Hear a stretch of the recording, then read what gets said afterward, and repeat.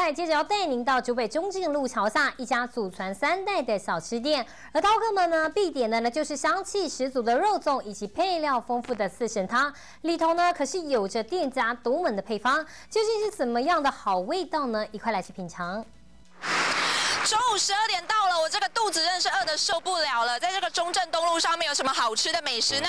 今天的美食大嘴巴就带你去发现一家桥头小吃。大肠薏仁莲子，再配上养生的山药，这碗配料丰富的四神汤，加入了老板特制的酒，喝起来清爽不油腻，完全没有腥味。再来一颗香气十足的肉粽，真的是绝配。最常点肉粽跟这个鲜菇肉羹。那为什么常点这个呢？哦，因为它肉粽很有名啊，里面而且料蛮多蛮实在的。这个鲜菇肉羹也是啊，它的料就跟别人的不太一样，很多菇类的东西，对啊，看起来就很健康、很好吃的感觉。外面有的话，就是你会觉得那个面线太糊了，然后吃起来没有什么口感。那这边的话，我觉得它面线还有有吃起来口感不错，而且它的料蛮实在的。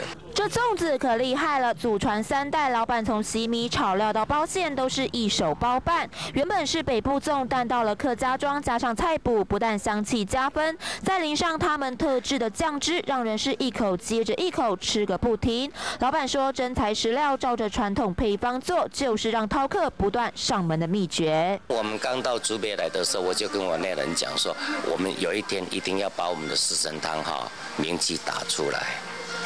就是这样打出来的，因为我很用心的在做，至少四神汤这个肠子哈，吃到了肠子绝对没有，绝对吃不到它的腥味。好，那这如何去掉它的腥味呢？这个实在讲，这有技巧。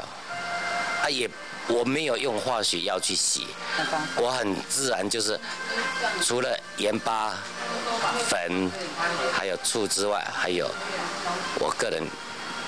研研研发出来的就是用拉的。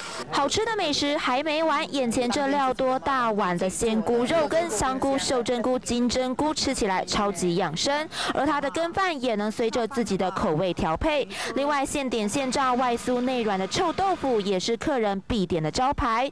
用心经营，用料大方，也难怪这传承三代的好味道能够满足饕客的胃。九新闻徐长虹、徐小华采访报道。